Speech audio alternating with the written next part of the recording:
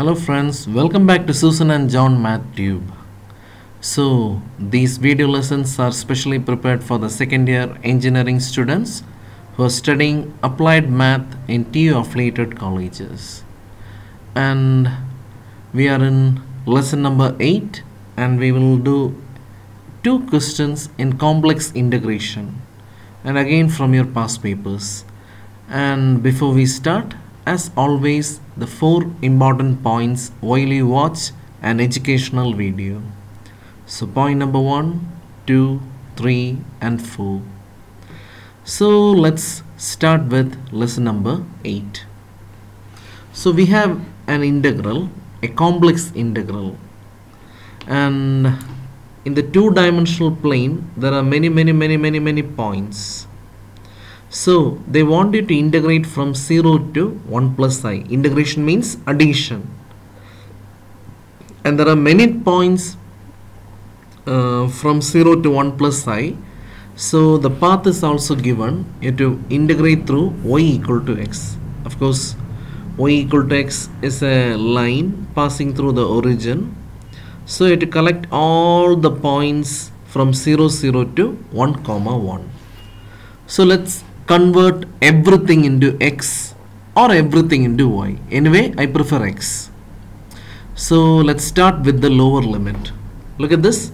The variable of integration is z and so this is z equal to 0 and that implies the origin x equal to 0 y equal to 0 now take a look at the upper limit the upper limit is 1 plus i. That means z equal to 1 plus i and that means the point 1 comma 1 okay so we can see that x varies from 0 to 1 and y varies from 0 to 1 and the path used is y equal to x. And that simply means we have the x-axis and the y-axis and we have the line y equal to x and let's say this is our origin. Let's use yellow and this is 1 1 there are infinite number of points in between. We are supposed to use all the points in this function and add all those things. When you input 0 0 you get 0 plus 0 i. When you input 1 1 you get 1 plus i. Likewise there are many many points here. You put all the points and add them up. That is what you mean by a complex integral. Anyway um, z equal to x plus iy I told that in the beginning of lesson number one so that the differential I'm just taking the differential on both sides. So I end up with dz equal to dx plus i dy. Now y equal to x. So dy equal to dx that means I can replace this dy with dx because I'm trying to convert everything into the variable x. Okay now look at this. Let's substitute. I didn't change but I used dx plus i dy. But dy and dx are the same so I'm replacing our dy with dx. And then we have something common here. So something into dx. And it's a complex constant. So I can keep it outside. And integral x square is x cubed by 3 and integral x power 1 is x square by 2 now let's substitute the upper limit minus the lower limit. Okay, that's it. You can use a calculator and multiply this if you want to save time. Otherwise, you can multiply just like you multiply complex numbers. Okay, that's it. So this is the answer. Note. Now this is something very important because we'll be using this in many many places, especially when we prove Cauchy's integral theorem, formula, etc. etc. So look at this mod z equal to r. First of all, you have to understand modulus stands for distance from the origin. let it be one dimension let it be two dimension let it be three dimension or any dimension modulus stands for the distance from the origin for example modulus of 3 means the distance of the point 3 from the origin.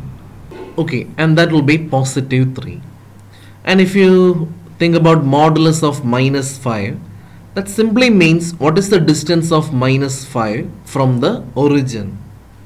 And that will be 5 that is why we use modulus to generate positive numbers because distance is positive so even if you input any number you get the positive output.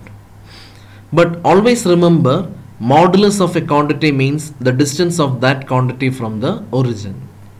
Now suppose you have modulus of z1 minus z2 or modulus of let's think about a minus b in real numbers. This means the distance between a and b. For example modulus of 3 minus 7 this stands for the distance between 3 and 7 that will be 4 units. So even though you get minus 4 you make it positive and you write 4 units. Okay. So basically modulus is distance function. Now take a look at this. Modulus of z equal to r. Z stands for the complex number x plus iy so that means you collect all the complex number and it's not one. It can be any complex number. So you collect all the complex numbers so that the distance from the origin will be r. And what does it give you? A circle. I'll repeat once more. Modulus of z is equal to r represents a circle. The reason is uh, modulus of z means modulus of x plus iy that means the distance of the complex number x plus iy from the origin is r. But x plus iy is not one person. There are many many many many people that satisfy that condition. So when you collect all those points you get a circle. Okay. So that's a circle with center origin and radius r. Now you might have learned the parametric form of a circle is r cos theta r sin theta. And if this is x and this is y then this can be written as e to the power i theta multiplied by r because e to the power i theta is cos theta plus i sin theta.